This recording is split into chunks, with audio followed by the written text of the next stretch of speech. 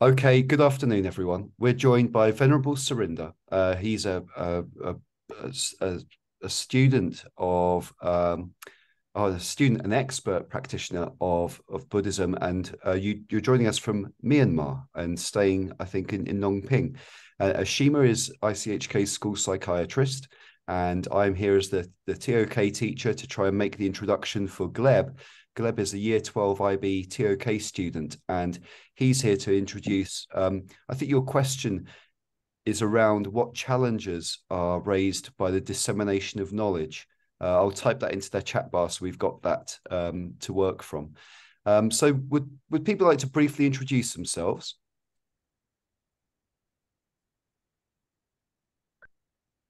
Well, I've okay. So we start? Yeah, yeah. Are we are we are we ready to go then? I've I've briefly introduced you anyway. So, Venerable Sirinda, um, could you could you first begin by telling us a little bit about what brings you to Hong Kong? Ah, okay. Yeah, just just a little bit introduction. Uh, can you hear me well, actually? Yeah, very well. Okay. Yeah. Yeah. Uh, yes. Yes, you know, I'm from Myanmar, Myanmar, actually, and yes, I've been Buddhist man for about 20 years, actually. Yes. I also became a monastery member when I was about 10. So altogether, I I I I have been become monastery member for about 30 years. okay. And then I finished my our traditional Buddhism related exam in my in my university in Myanmar. We call BA Buddhism and also MA Buddhism. And then after that I came here, Hong Kong U, uh, to join Master Buddhist Counseling. Yeah. Uh yes, I think that, that's enough intro. Yeah. Yeah, thank you very much. Um, I'm just putting into our chat box. Uh, this is Gleb's question. So Gleb is uh, researching for his TOK exhibition, where he chooses three different objects which represent three different areas of knowledge. And uh, currently, well, maybe Gleb can speak to that. It's quite loud, right? But um, the the IA prompt, which oh links them all is what what challenges are raised by the dissemination and or communication of knowledge so i think that while our conversation can organically uh, evolve into other areas i think that's a nice framing question to give our conversation a, a focal point um, gleb would you like to ask venerable sirinda uh, your first question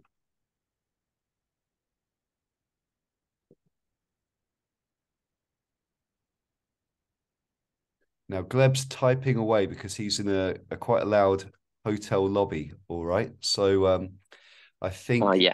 if if I also use this time, I'll uh, copy over into our chat bar the the five questions that we've prepared, and uh, and then also we can uh, we can go beyond that.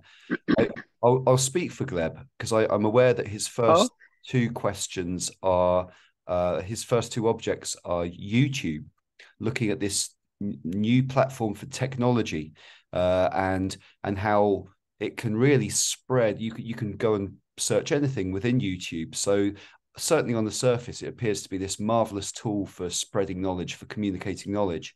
But what Gleb's investigating is the the bias within the algorithm, which means that while it's this uh, paradox of choice, you might believe that you've got access to the world, but actually it's the the the algorithm working on your predilections, your hobbies, your interests, what you've already viewed before. So it presents to you a kind of echo chamber of the world. And in, in, in Gleb's second object, Plato's allegory of the cave, that that idea is a philo- philosophical idea discussed by Plato, that that in a sense we are all living in a cave where we believe reality is is what is in front of us, viewed by our perceived by our senses, but but in fact uh, can just be a distortion. It can be the shadow puppets who who appear on the wall as a mirage, and that uh, when people one prisoner breaks away and sees the world as it is from the outside and returns to the cave to tell them how reality truly is, that that causes such uh, discomfort and fear that they murder him for spreading the truth. So I think that we can talk about Mahayana Buddhism, and you you you practice uh, a different branch. We can maybe talk about the differences between. Uh, yes, t- we call Theravada tradition actually. Theravada. Yeah, Theravada tradition. Yes, Theravada tradition actually. Yeah. Now, um, Gleb has already uh, asked his first question, so he asks. I, yes, yes, I saw. I would like to ask about importance of meditating and why. That's the first question, right? So, so uh, the so the, the first question is actually what challenges are raised by dissemination and communication of knowledge? Is that the first question? Right. Which one? Which one I would I will explain us actually. Well, let's go with Gleb's first question about the importance of meditation. Okay. Please, thank you. Wow. okay, thank you. I I don't know what to say. The importance of the importance of meditating. Ah. Okay. Yes, maybe there are many answers about this question, but the important thing is we meditated because we want to know. We want to know this. That is the main question, the main answer. The main answer. I mean, for example, in our daily life, we use lots of things in quickly, quickly, in a quick manner. So we can notice everything. So one of the main thing, the meditation is when you meditate it, you notice everything because you are doing generally slowly, generally slowly. But but even though if you are doing quickly, you you can notice it. Yes, I mean to put it in the in a nutshell, yes, the importance of meditation is to know the real nature, the real nature, to notice the real nature. That's the importance of uh, meditating. Yeah if you have any question, just ask me again. I, I, I can answer it. Yes, it's better for you and for me. When you when you talk about the real nature, you talk about the awareness oh. of the the biological, the ecosystems, or are you are you talking about a more spiritual nature? Ah, uh, yeah. Normally, okay. Uh, let let's uh, let's let's dig deeper more normally when we talk about in, in our according to our tradition there are two ways of meditating. We call concentrated meditation. The concentrated meditation focus on trying to focus is one thing.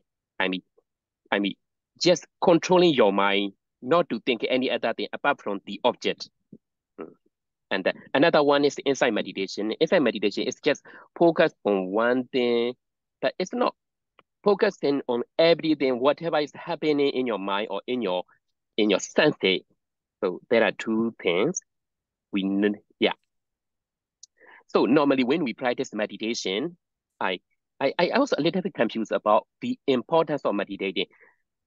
Yes, I must say, we meditate because without meditation, without concentration, without insight, we miss many things. We miss many things. So by meditating, we cannot miss everything. And that's the importance of meditating. Yeah. Just ask me question if you are a little bit confused because uh, maybe sometimes I will miss some point of view. Okay.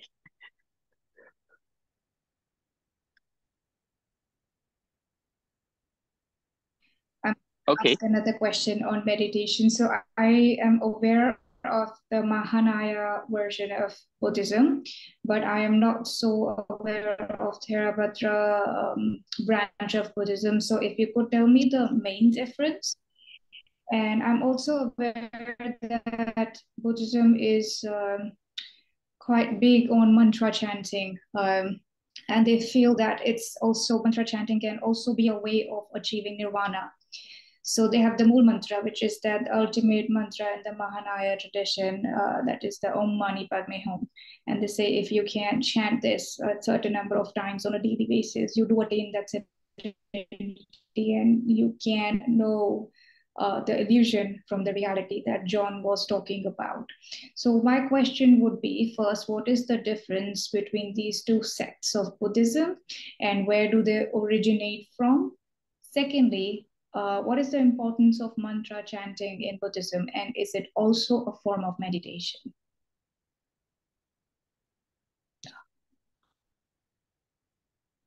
Seems that uh, it's a very good question. I think he, his Zoom may have just dropped out for a second there. Um, Gleb, if you would like, you can type in all of your questions uh, as as you think of them, or or copy them across, and I'll scan read through them, and Ashima and I can try to intersperse your questions. Um, so after this, I'll I'll try to take Venerable Sirinda's response to the question about whether rhythmic chanting uh, is medita- meditative, and then also start to think about the challenges that he's faced in knowing as a Buddhist practitioner?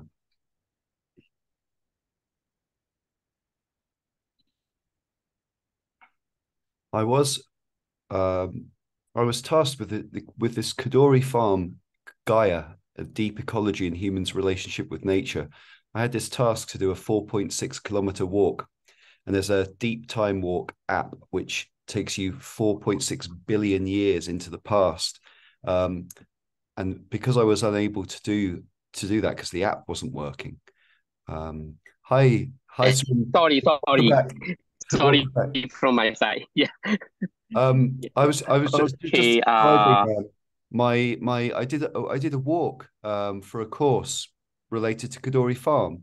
Um, the the app for the science based deep history of the earth it, didn't work, so I put on some Buddhist chanting and I, I, did find it strange at first, but then, but then it was very rhythmic, and it did allow me to like calm down all of the outside noise.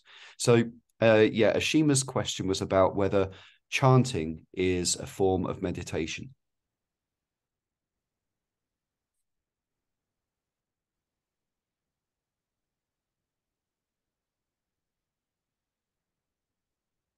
Uh, and also its significant of reality.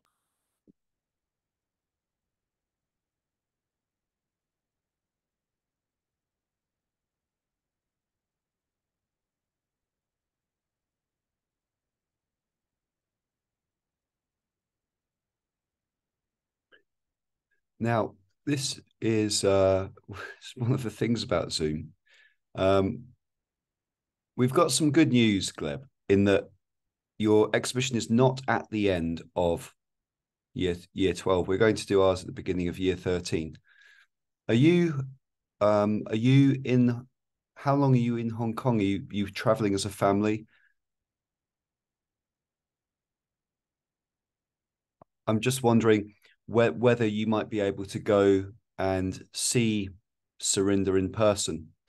Uh, three weeks, yeah, yeah, okay. I'm tra- I'm traveling very soon as well, so um, it might be the case that we we can actually go and uh, meet him in person. He is he is over there in Lantau. It's a shame. I had this this issue with Zoom when I was uh, with the Zen and Sustainability Group, and Wendy Burrell, who lived in her and Luca, her family are from um, Norfolk Island, which is just off the Pitcairn Islands in the middle of the Pacific Ocean.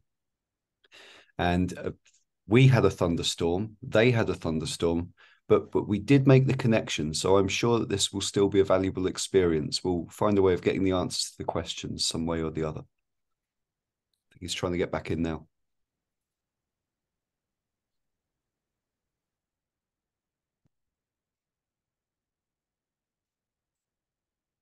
Hello.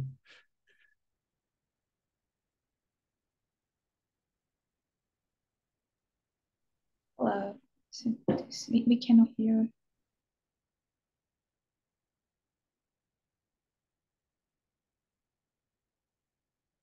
So I think that you might need to turn your mic on if that's um, if you can see if that's the the issue uh, connecting to audio. Yeah, sometimes the signals are like that. And uh, Sur- Venerable Sirinda is is at the Ngong Ping uh, area of, of Lantau. I, th- I, think the signals may not okay. be. Okay, I, I I can hear you actually. What oh, about well, you? Can you hear me? Yeah, sorry, that's sorry. nice and clear. That's nice and clear. No problem. okay, okay. okay. Uh, I think uh Shama is asking that que uh, one question, right? I I haven't I haven't I haven't seen it now. Sorry. Uh, no problem. Uh, so Ashim was asking whether chanting counts as meditation. Uh, yeah, yeah. Yeah, maybe it's easier if I directly ask you. I think over the phone, it would be difficult to have a look at the chat. So my question was, uh, the first question is the difference between different sects of Buddhism, different types of Buddhism, the oh, main yeah. difference. And second was the importance of mantra chanting and um, it, can mantra chanting lead to a kind of um, insight into reality. Okay and sorry uh, the first question i will i will talk about the first question later. I will ask next question right? Okay sorry. Okay and then in the first question you asked about the main branches the main schools of buddhism right? Yeah okay. Uh, the main branches, there are two main branches. Yes, okay, let me let me tell you a little bit more. Uh, generally, we distinguish uh, Mahayana tradition and then Theravada tradition. You know, Mahayana tradition belong to uh, mainland, Hong Kong, Japan, Korea. So sometimes we call it Northern tradition. And then Buddhist tradition in Myanmar and then Sri Lanka, Thailand, it's belong to Theravada tradition. Okay. Actually, these days, a little one more thing, one more tradition, is it also belong to Mahayana tradition? But sometimes we distinguish Mahayana tradition two kind. The first one is the Tibetan Buddhism. Tibetan Buddhism is from Tibet. And then another Mahayana tradition is just like before, uh, Buddhism from mainland and then from China, Japan, or something even though they, they, they are actually they are of Mahayana tradition.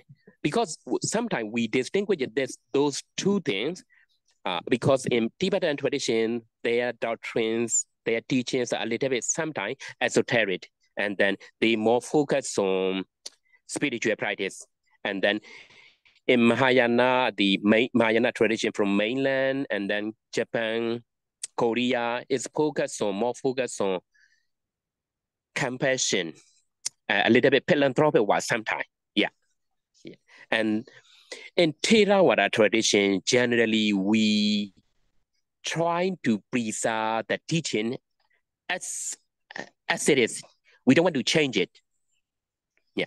Okay. In Mahayana tradition, sometimes there are a lot of integration with their culture, as much as I know. Okay as much as you know, there are lots of culture. For example, in mainland China, and then the they are teaching, they are probably teaching, they have integrated with their culture. For example, sometimes they integrated with uh, Confucianism, Taoism, or something like that. But in Theravada tradition, we preserve the Buddha teaching as it is. We don't want to we don't want to integrate it with other tradition. Yeah. Okay. Uh, that's it yeah, that that are the main branches. Uh, should I should I talk about more about their uh, difference and similarity? Uh, yeah, I, I the source of these uh, um, sects of Buddhism same? is it the same source? Uh, yes, yes, they are all the same sort because all of them. We I must say all of them. Uh, the main teacher is uh we call that now contemporary organization we call the Buddha, right? The Buddha is it the main teacher? Their teacher is the the the teacher is the same, and then they have a little bit different. There are there are some difference and also many similarity. Okay, okay. Uh, let me uh, let me tell you first similar things. The first thing, they all recognize the Buddha as the main teacher, the only teacher, the real one.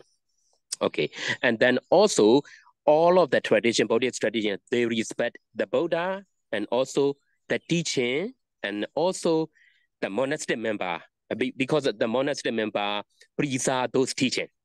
Yeah, so they all respect all three. Sometimes we call triple gems, triple gems. Sometimes we call triple gems. And then also, uh, if you are talking about Buddhism, whatever in Mahayana or Theravada tradition, the main teaching is the Four Noble Truth. Maybe you already know this, right? Uh, do, do you know it, the Four Noble Truth? Have you ever heard of it? No. Okay. Is it okay? Okay, thank you. Is it the main teaching? The main teaching, I mean, okay, let me tell you a little bit the story or the, the future Buddha, the Bodhisattva, the future Buddha, the, the Bodhisattva. I mean, the Bodhisattva before the Buddha, right? Okay. And so at that time, he was a princess. He was prince. He was a prince. So he looked at the world. Okay, in, in this world, there are lots of suffering. He thinks. So, so this is the past truth, the past noble truth. We call the noble truth. Actually, the truth, yeah, noble truth. So in this world, there are lots of suffering. And then another one is okay, for those lots of suffering, there is always a reason. There is always the, re the reason. So that's it, the second truth. I mean, all suffering have their own causes and condition. Yeah, this is the, the second truth. Uh, the third one is okay. That is one truth that cessation of that suffering, those suffering, cessation, liberation of those suffering. That is the one stages. Yeah, this is also the third truth. This is it the third truth. And then okay, the final truth is that is the way leading to the cessation of the suffering. So we call those the four things is the four noble truth because it is the main teaching actually. All Theravada tradition, Mahayana tradition, all accepted those teaching. It's the main one actually. Okay, well, suffering, that is the cause of suffering, that is the cessation of suffering, and that is the way leading to the cessation of suffering. Okay. Okay, they also accept the same, the same. Uh, okay. Okay. And they they all accept three characteristics. The reason is impermanence. Generally, everything is impermanent. They accept it. Everything is impermanent. Transient. Yes. Not eternal. Okay. And the second characteristic is so because they are all uh, impermanent, so they are all suffering. They are all suffering. Okay, that is another another characteristic is, is we call non-self. Non-self. Normally, people believe that it's self, but according to Buddhism, we don't believe we don't we don't accept the self. So that's why the characteristic, the third characteristic is knows that we believe that three characteristics, impermanence, and then suffering, and then non-self. Okay. The main thing is yes, we all accept everything happen because of causes and condition. Everything happen. I mean, everything has their own reason. Their own reason. Yeah. Okay maybe there are many similar things all Buddhist school, all, the, all Buddhist brand, they accept it, but okay. I, I will talk about different things, Mahayana, between Mahayana tradition and then Theravada tradition. Okay. So according to according to Theravada tradition, generally we trying to we trying to liberate so is it the main the main ultimate goal? Is it the ultimate goal? Trying to liberate those suffering. Hmm. Okay. We must say generally personal liberation is important, right? We accept it that way. And but according to Mahayana tradition, they focus on they generally focus on to become the Buddha because they want to liberate other people. Okay, okay. Okay. Yeah.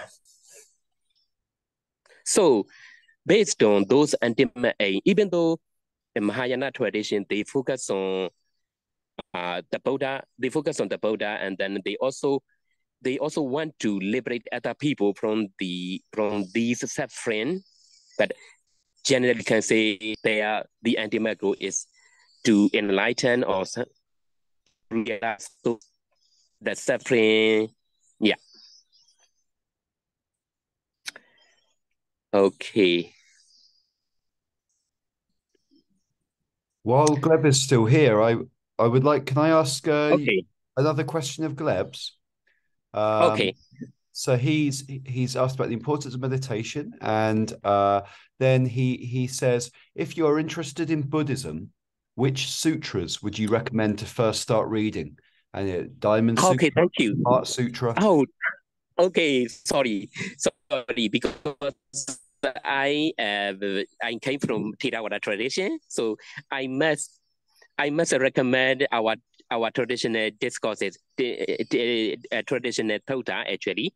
But if you want to know about that Mahayana tradition, yes, Diamond Sutra, uh, maybe is is is the most important one. But according to my tradition, I will recommend two sutta. The first one is called Dhammacakkappavattana Sutta. Okay, okay. Later, I will uh, I will send the link.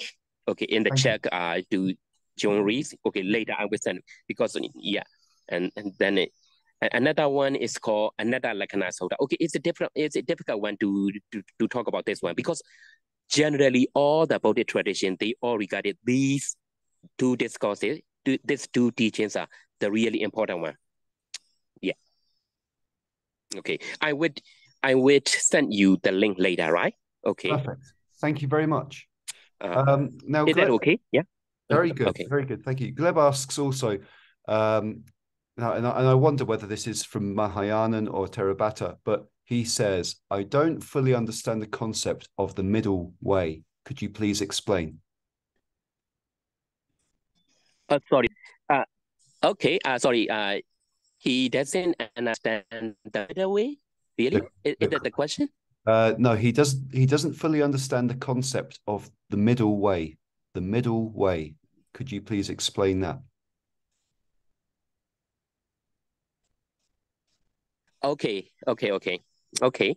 Do you have time? I have time. Because I have to explain a lot. That's why I'm asking. It's okay. I, I have time. Uh, yeah, I'm very happy to keep on talking. I know that uh, Gleb is at a family event, so uh, Gleb Gleb will indicate to me when he okay, needs okay. to jump off, but we can continue the conversation. Yeah, thank you. Uh, okay, okay, thank you. Okay, uh, so I talk about the Four Noble Truths, right? Okay, the Noble because then the middle way came from that that idea. Okay, so there are the Noble Truths. There is suffering. There is the cause of suffering, and, and the liberation of suffering and the way lead into the cessation of suffering. The middle part, the middle way. Okay. And then, okay, generally when we are, okay, let's talk about the life of the Bodhisatta. Before he renounced the war, he, he renounced from his palace. He he he lived uh, in luxurious life. His life, he was prince. He was prince, so his life is very comfortable. So, and that by by enjoying those sensual pleasure, he can find any the real liberation, the real happiness. So later he renounced that prince life and then became kind of monastic member. And then at that time, he practiced for about six, six years, he practiced the most uh, challenging practice. The most challenging practice is very, very severe, very, very difficult to follow. But even though he followed that practice for about six years, he don't know the real truth. He don't know, I mean, he don't become a Buddha. He didn't become a Buddha. So later, okay, I'm talking about two extreme. Normally we talk about two extreme. The first extreme is sensual pleasure. The another extreme is very severe, very challenging spiritual practice. Those two way he follow, but that both way cannot cannot go to the intimate intimate uh, that that that liberation of the suffering. So that part okay that middle part consists of actually if i say that middle part means eight factors eight factor maybe you already know this okay because I, I need to I need to explain in this part. You you may know it's right understanding, Okay. Uh, right thought, right speech, uh, right, uh, right livelihood, right action. Okay, let me let me take it. Okay, right understanding, right thought, right livelihood. Uh, okay, let me three right effort and then right concentration and then right mindfulness. Those eight part.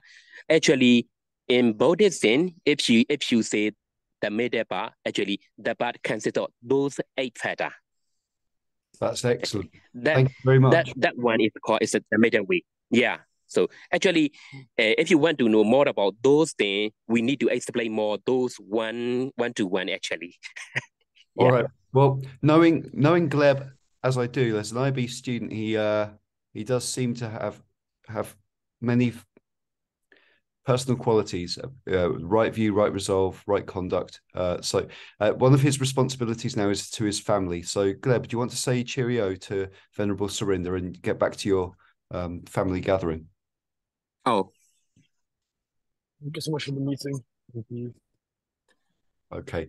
Cheerio gleb. All the best yeah okay yeah. be in touch on monday. We'll carry on our conversation now. Thank you. Okay okay. Okay okay. Yeah Um, well, thank you very much for that answer. Now, uh, I. I, uh, I wonder if we could just.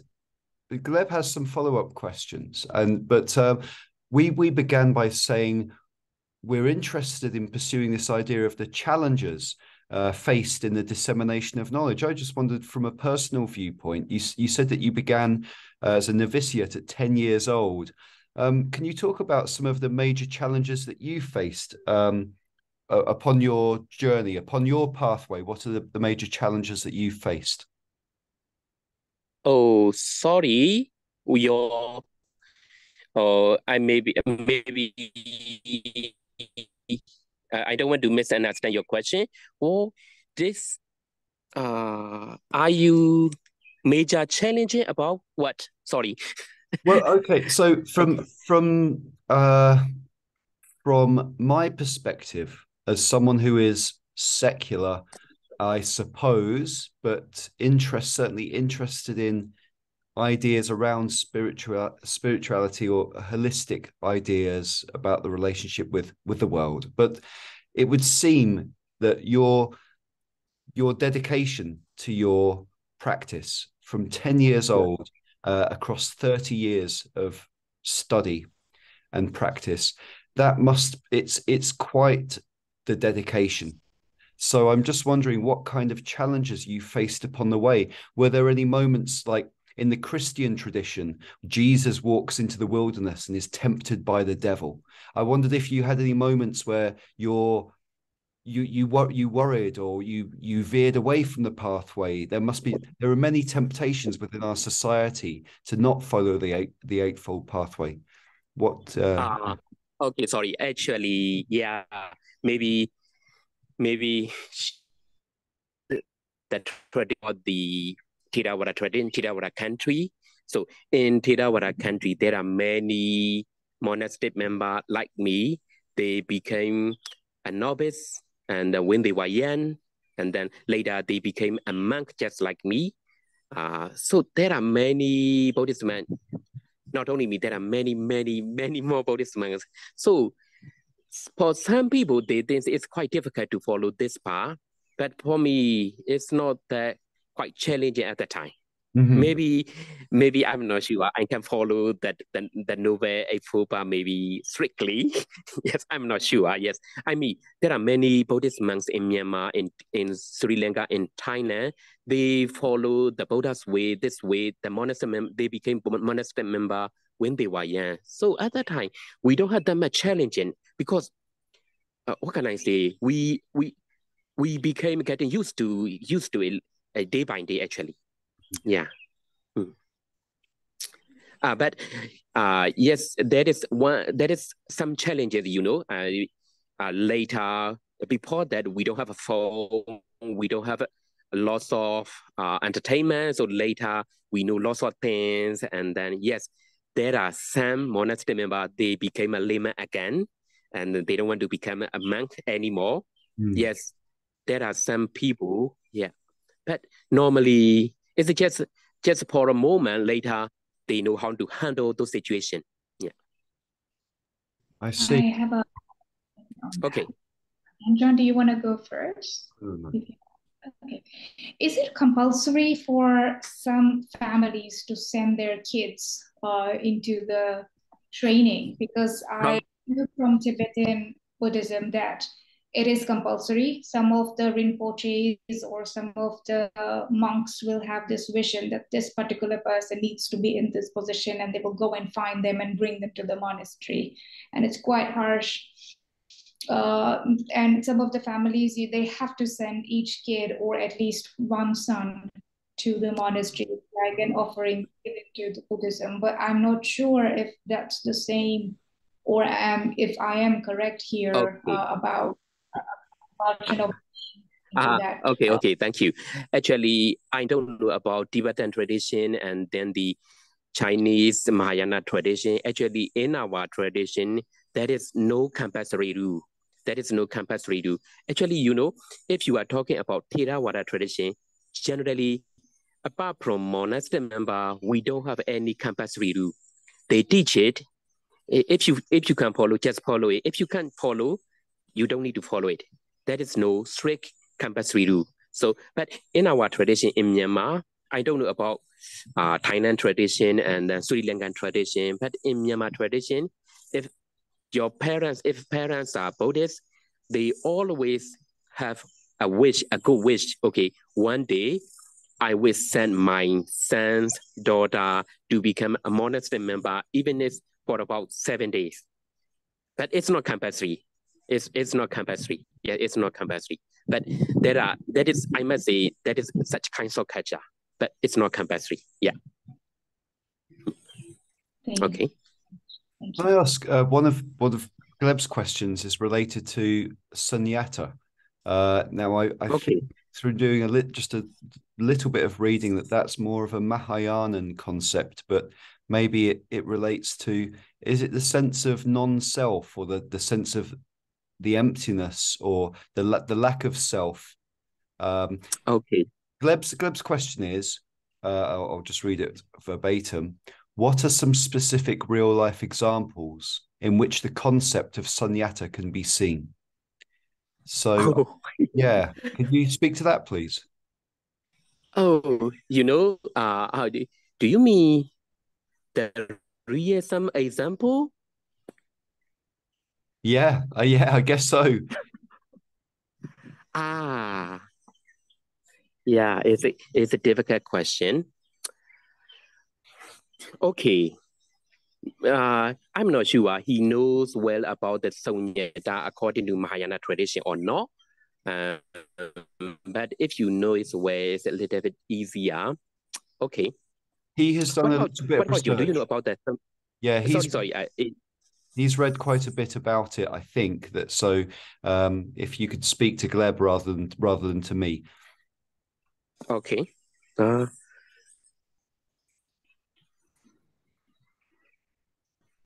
Maybe I'm not sure. I, I know the answer, but I can explain about Sunyata according to Mahayana tradition. As long as I have studied, I yes, I have I I've studied some of the Mahayana ideas, so maybe I can explain it a, a little bit. But I'm not sure. Is it difficult to say some are the for example contemporary contemporary example?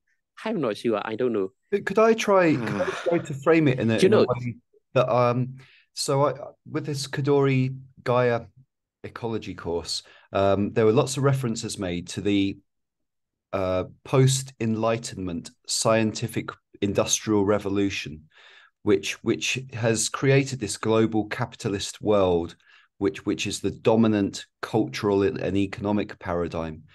And one of the, the very famous philosophers, Rene Descartes, uh, he came up with that statement I I think, therefore I am. I am. So the Yeah. sense of self and the sense of ego uh, in the Western centric conception of the world is paramount. Really, a sense of selfhood uh, and asserting your rights is is there within the U.S. Constitution. Uh, It is like we are separate entities, and something of the course that was taught to us is that actually, well, it maybe shouldn't be this, and it's maybe reinforced in Christian tradition where you have that God creates the heavens and the earth, and then creates man, and then gives man dominion over all of the animals. So there's this this paradigm, this pa- power Yeah. Man, the sense of self is at the top of it. Now, Buddhism is not that, right? There's a, a there's a getting away from a self. There's an acceptance that we are one. So, is is that that a, a way of comparison that can be help with explaining? Yeah, yes, yes, yes. According to Rene Descartes, we we know that yes, I think therefore I am. Okay, but according to Buddhism, just a thought without a thinker, actually. Okay. So so at, at past I told you about three characteristics, right? Okay, impermanence and then suffering and then non-self. Okay, they are generally related. If you understand uh, the nature of impermanence, it's easier to explain the, the nature of non-self. Okay, according to the Buddhist teaching, everything generally, okay, generally everything's are impermanent. They are not the same. So, so for example, uh, yesterday, even though we think it's me, but actually it's not me anymore. For example, if you know some uh, photo, a picture of you a long time ago when you were young, you saw a, a, picture, you might say, okay, this is me. But you might say, if you compare both of you, maybe there is similar things, but you are not the same. You are different one. Okay. Uh, okay, what can I say? For example, when you say here, there are some some pillar, some there are some pillar. So if you see the pillar, you must think, is it permanent? But if you come back later after 100 years, 1000 years, you will know it would later it decay, it destroy anymore. So Mhm. I mean, everything is impermanent, not the same, even though we think they are the same. They are Mhm. not the same. Okay. I don't know about many physics or something, but they had they also use it uh, neutron and pro- proton, proton or something. They are actually, if you dig a little bit, dig a little more, dig deeper about the those uh what can I say uh atom, you know the proton and neutron, they are just happening again and again. It's not con it's not permanent things. Okay, I, am talking about the physical. Also, we have to, we can talk about the our mental, our thought. Yes. So, according to Buddhism, our thought also impermanent. For example, if you are seeing something, you are just seeing. But sometimes, if you are listening, just you are listening, we can't do the same. Even though we think we are doing the same, actually, it's very quick that we can understand it. For example, now you are sitting down. Okay, can you think of a test texture? So if you ask that question, you can notice your texture of the floor. Actually, even though you are touching all the time, you can notice it. I mean, our thought, our mind, also the same is impermanent. It happened and then later it's perished. It's happened and perished. So according to Buddhism, uh, but it's just the thought. We don't have any thinker. Yeah. Uh, because because we we accepted the nature, uh, that characteristic, the first characteristic of impermanence. Okay, so so let's talk about okay. Uh, just believe it. You believe it or not? It's okay. yeah. So be, because based on those idea, we have to talk about the non-self. You know, so everything is impermanent. So what is one thing is always the same in our mind or in our body or somewhere. we can find it So we can say one thing is in, uh, one thing that is totally permanent.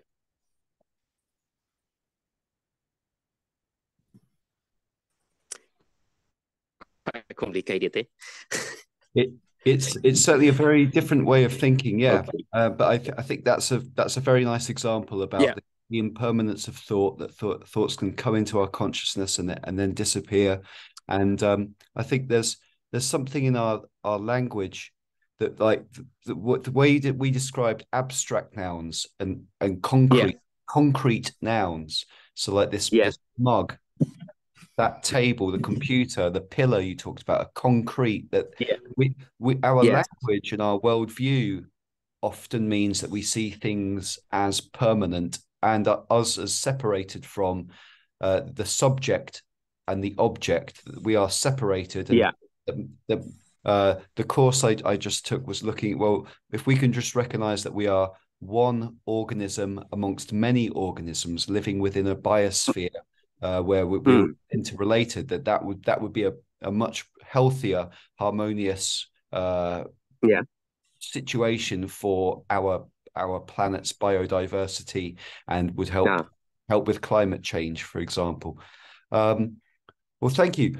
Uh, I I have I'm just. I wonder. Do you have time to speak for a little bit longer? Um, yeah, it's okay. It's okay. If you have time, I have time. It's okay.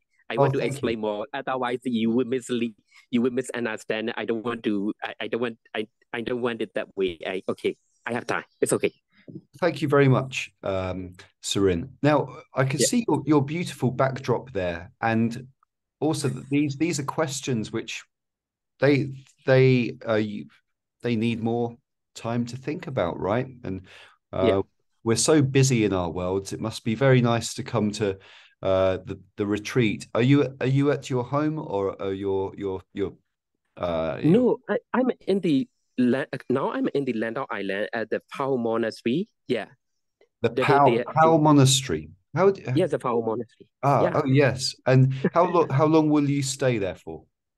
Oh, now I I think I've got about six weeks now. Yeah. Six weeks. Oh, really? Oh, wow.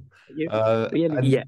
And that you're studying for your master's in Buddhist counseling at HKU, is that correct? Yes, yes, yes. That's correct. Yeah. And then you will go back to um oh uh I'm I'm sorry, but you go back to I I've forgotten the, the. Are you from which city are you from, or um, you from the countryside? Myanmar, Myanmar, actually, Myanmar. I'm from Myanmar. Yes, yes, yeah, yeah. But which which city within Myanmar? Yangon. Oh, from Mandalay. From, from Mandalay. Mandalay. Oh, yes. Yeah. Do you know it? Uh, I have not been uh, to, to Mandalay, but uh, I did visit ah. uh, with my father. We went to uh, Lake Lake Inle and um, to uh, uh, oh. to, to, Yang, to Yangon, the capital city, and uh, yeah, yeah. Um, so, were can I ask you? Um, you talked about when you were young, it wasn't such a challenge to to become yeah. a, a, novitiate monk because that was the that was the norm within the culture um and yeah you you you talked about your friends who with the phones like they they and to make a link to gleb's youtube uh, idea that like well the whole other world and many other like tempting distractions like um whether it's to do with consuming buying products or having luxurious mm. lifestyles and all of the other temptations which are there. Um have you ever found yourself facing moments of crisis within your faith-based system? Moments where you feel pulled away from it? And how have you, how have you overcome those challenges if you've experienced them? Or has your has your faith always been resolute? Uh actually i i don't know what to say i mean yes just like i told you before okay okay okay i never i never have i never have beautiful car i never have beautiful building so to be honest I don't have such wishes. Okay, I wish I have that car or I wish I had that those building.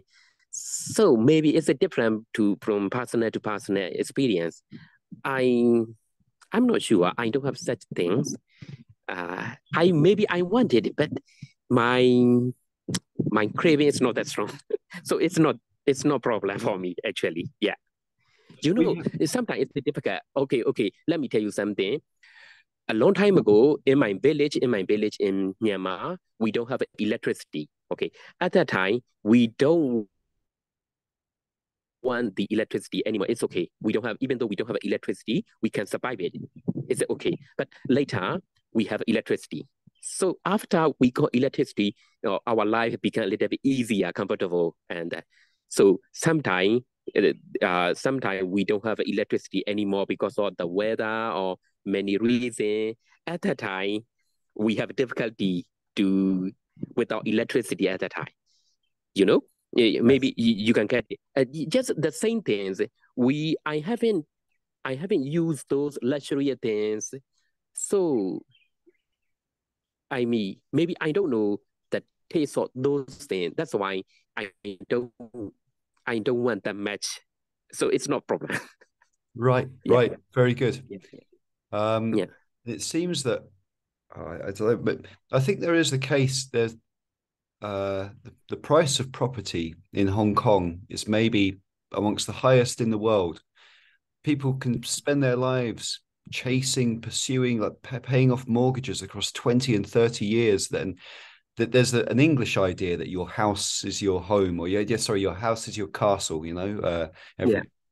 whatever. Uh, the, so it is very strong within our culture this idea of acquisition and, and ownership but um but because of maybe your Buddhist sense of impermanence that you don't really own anything and so you don't you don't need to and it's a i think that could be a very positive shift of mindset uh, uh, an awareness of a different a different um, set of cognitive technologies to view the world in a different way, which would alleviate all a, a lot of the financial stresses that people are under, because there are yeah. alternate pathways.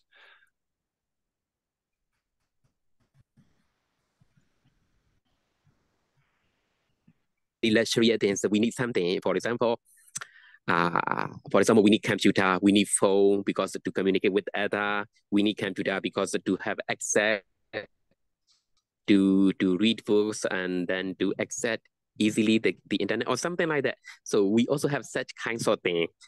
But some of them, yes, we can manage it, it, is okay. Some of them we don't have any maybe we have a desire, but our desire is a little different from from the lay people. Yeah. So those desire, I think, yeah. Well, that that's it's taking us on. I think um, when I review the questions that we sent, I think we've we've covered um, the, the, challenges and uh, we've looked at the differences between Theravada and, and Mahayana Buddhism, uh, and we we've we've we've talked somewhat about the the dig- the digital modern age that we find ourselves in, and the, the distractions, and then you've talked there about the um, yeah the, the lack of desire for the for these objects which okay. So um i wondered then if we might focus to to conclude our conversation. Um what are the major problems that you face when disseminating your spiritual knowledge so that you have these insights these, this wisdom these these truths and you i wondered that uh, you might look around the world and see uh, in in the center of Hong Kong or in the center of Yangon, in the busy cities, in Mandalay, yeah. the busy the busy, busy commercial centers. Do you do you look at things not not with a kind of pride or a, or an arrogance to say I have the truths, but, but you, I wonder you might wish people that if they could only be aware that there is a different way. Um, so, what challenges what do you face in disseminating, in in communicating your uh, spiritual beliefs? Okay, okay. Uh, I should talk about the the most important part is okay. According to our tradition, the main part is, as I said before, uh, first to try yourself first to liberate from the suffering. That's the main the main the ultimate goal. Uh, personal liberation is the main and the ultimate goal. I mean, okay. after you try that, after you try that, you can disseminate your knowledge to other people. But here, when you are talking about dissemination, we may think about two things. The part thing is okay, uh, we are just sharing our knowledge to every people because I because we want to we want we want all of the people know the teaching. That is one thing. Another thing is the people, other people, they just want to know it. They just want to know about this thing, about this practice. So I think it's a little bit different. Normally, according to our tradition, we don't try to recruit people. Mm. Yeah, recruit people. I mean, if you want to know, yes, you can ask them, or you can join meditation retreat, or you can join Dhamma talk or something like that. It's okay. Uh, so at that time, we have some maybe a problem. It's not a problem. I mean, because when I joined the HKU, normally I had lunch at a uh, vegetarian restaurant every day. Normally, most of the time, I met one people, one one stranger, two stranger. Uh, we have we sit down in the same table. Sometimes we share our knowledge. So when we are talking about the religion, sometimes it's quite easier, sometimes it's not easy, not easy. The main thing is their openness, open-mindedness, actually. Okay. If I if I also open-minded and also if they are also open-minded, it's easier to discuss everything. Yeah. If one of us, one of the one side is a little bit not open-minded, if they are close-minded, it's difficult to talk about those situations Yeah, because sometimes I, I I met some people they want to know about Buddhism. Some some of them are Christian Christianity. Some of them other uh, traditional traditional Hong Kong traditional religion, and some of them are just atheistic. But if they want to know about, about, about Buddhism, if they are really open minded, it's easier to discuss everything. I can disseminate our knowledge. My knowledge is easier. Uh, even but so sometimes I, I later after after many not many okay four five situation I concluded that if both of us have open minded it's easier to discuss it's easier to disseminate our knowledge our spiritual knowledge or Buddhist knowledge whatever whatever you call it it is okay and then if even though some of them are educated but they are close minded so if we if if I met those people it's a little bit difficult to talk about these things because whenever I said something, they are just looking at it from their viewpoint. So it's difficult to difficult to make them understand it. Yeah. Yeah. So so I must say educated ones and plus especially open-minded one, yeah, they are a little bit easier to talk about everything. From, right. Yeah. We should come with yeah. an open mind. That's that's good advice. Okay, yes, yes. I, I, do have um, one final question. Yeah. Um, I just wondered if you could think about the audience of this would be uh, Gleb's classmates uh, in yeah. year 12 or year 13 students um, in Hong Kong. They might be studying the IB or they're busy. They're busy with their studies and they live in a very fast-paced digital world. There are lots and lots of distractions. They're they're under quite a bit of pressure. Um, I think I think we can all identify with that with that actually living in this busy busy world. Can you would, would it be possible for you to deliver some kind of message, some kind of advice about ways in which our students can can take their first step way step, steps towards a happier, more balanced, harmonious life? Oh, you know, uh, oh, you mean any Buddhist practice to make them happier? Is anything, right? Anything from your your personal experience or your Buddhist uh, teachings and insights? Uh, just some some advice to give a lift and uh, maybe maybe as they are beginning their summer holidays what might they do? What habits, practices, might they adopt to leave leave more lead more harmonious lives? Like not you know steps in the right direction. Oh, sometimes you know, sometimes it's a, you know, knowledge is easy actually. Knowledge is easy. You can get the knowledge from everywhere, but the most important is, is sometimes it's not knowledge. It's actually it's practice. You know, I I focus on this one because you know, if they are really want to want to live happily or something, their cognitive skills also mature somehow. So if they want to follow, it's easier. Okay, let me tell you something. Okay, they also know it's okay. Killing other people is good or bad. We can we can distinguish that question first. We can discuss uh, we can we can discuss that question. But killing other people is good or bad. Okay. Sometimes normally if we ask if we talk about this question, some people maybe say it's a good, some people maybe maybe there are many other situations, but generally we all regard it killing other people is not good, right? So, I mean, we have those knowledge, and also we also those knowledge. Okay, how can I make someone happy? Okay, how can I uh, when uh, when am I happy? Sometimes we, we can we can think about ourselves too. We are happy. And some people uh share something with us, we are happy. We know this knowledge. We have this knowledge, right? We have mm. this knowledge. I, I mean, we know which is good, which is bad. Actually, we already know it, even though uh, we think that we, we don't know it. So what what can I say is yes, we can use that knowledge we can do it more and more.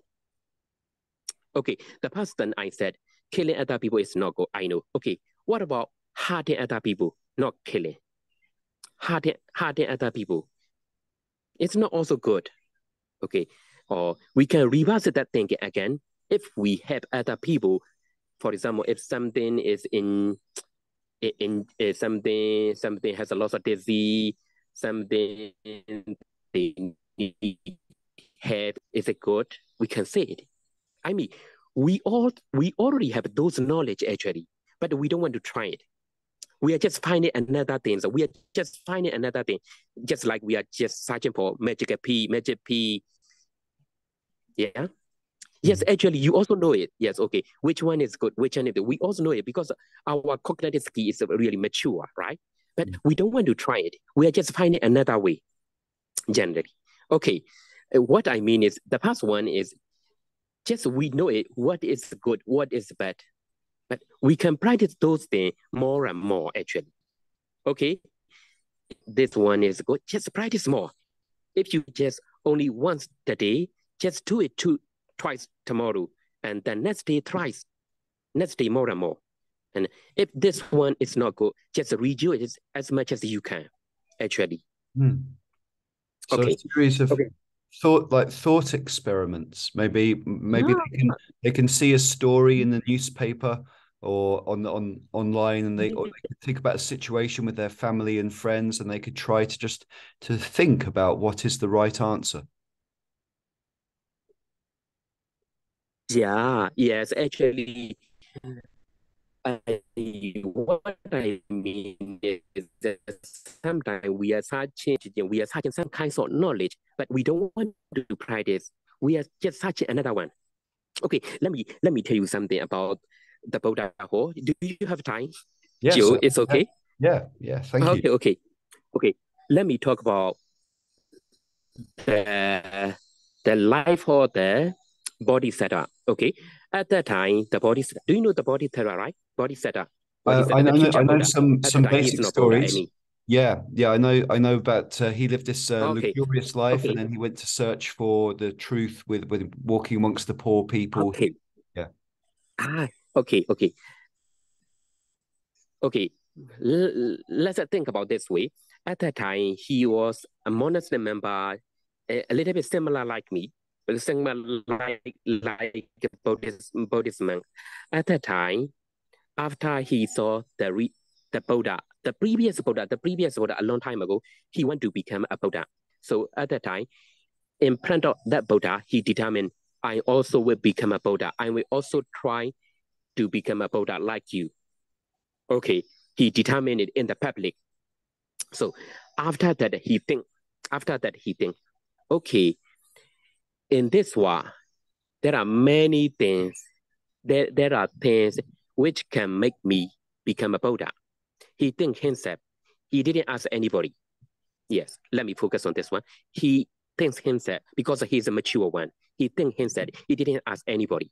At that time, he found out 10 things, 10 things, okay, 10, 10 practice, 10, what can I say? We call 10 perfection, 10 perfection. We call 10 perfection. He distinct, he, he recovered 10 perfection. Okay, if I practice this and this thing, I will become a Buddha.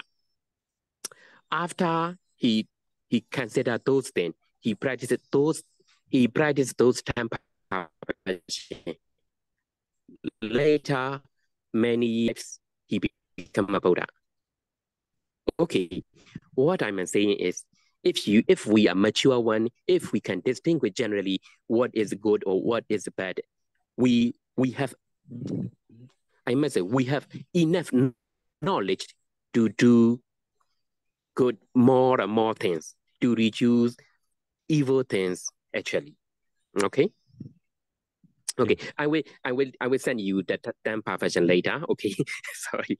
Um, so, okay, if you are talking about how to practice this one, it's a very difficult way to say because I know lots. I, I must say sorry. I, I know many teaching. Some of them I can practice. Some of them I don't practice. uh, you know, these days many people talk about uh, the mindfulness, mindfulness practice, they always talk about this one.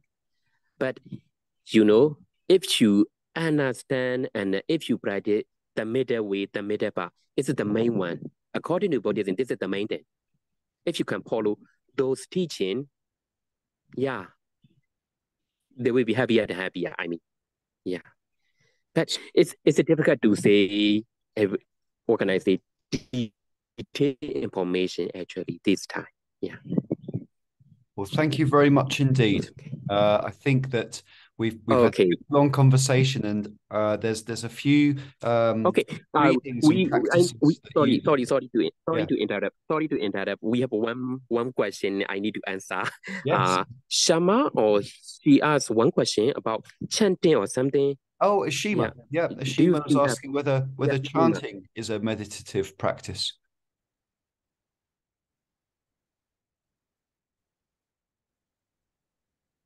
Oh, oh, oh, what what is the hard question? Can you can you tell me? I can see the, the question again. Yeah. Uh, sorry, uh, sorry, Jim. Do you do you remember that question?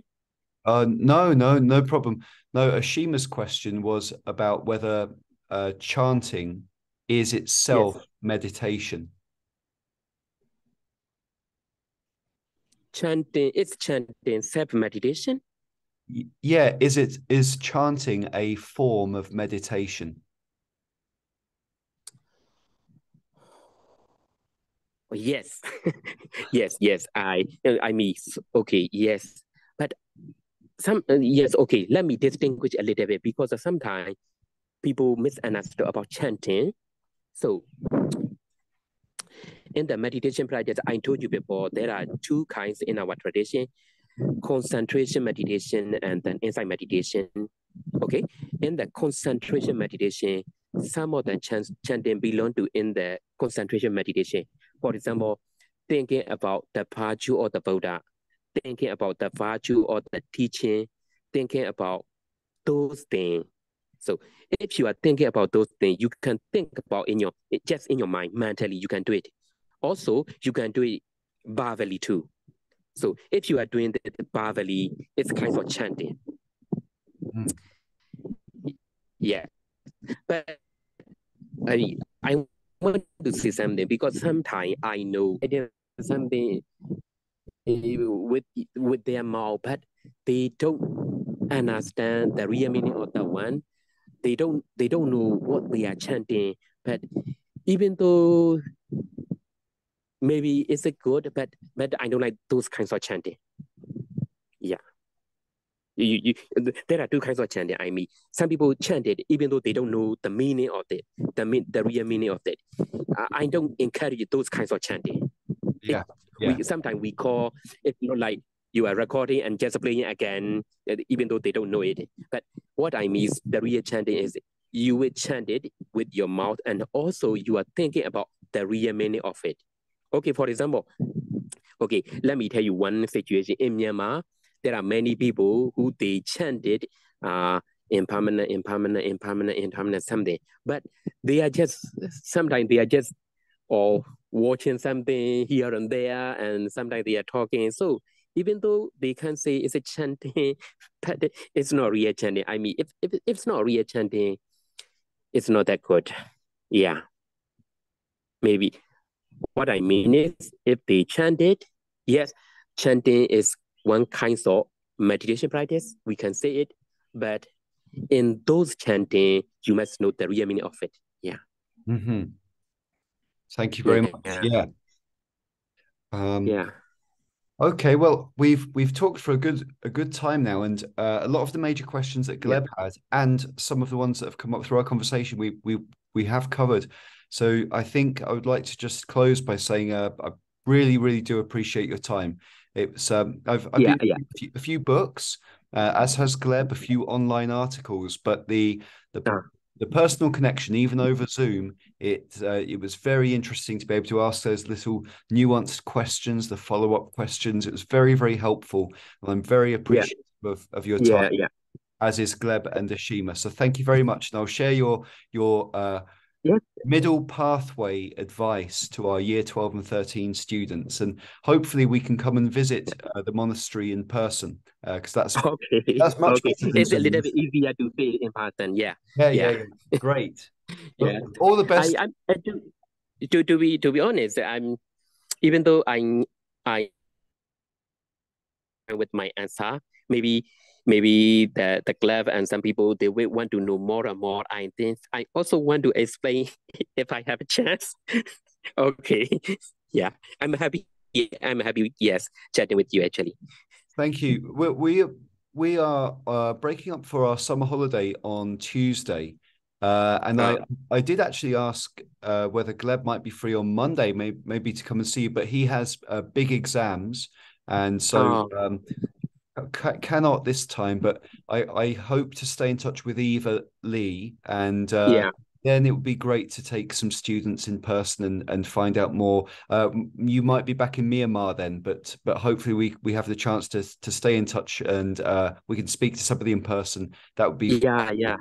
Yeah. Yes, I'm I'm I'm happy to share my knowledge. Yes, as much I will try as much as I can. Yeah.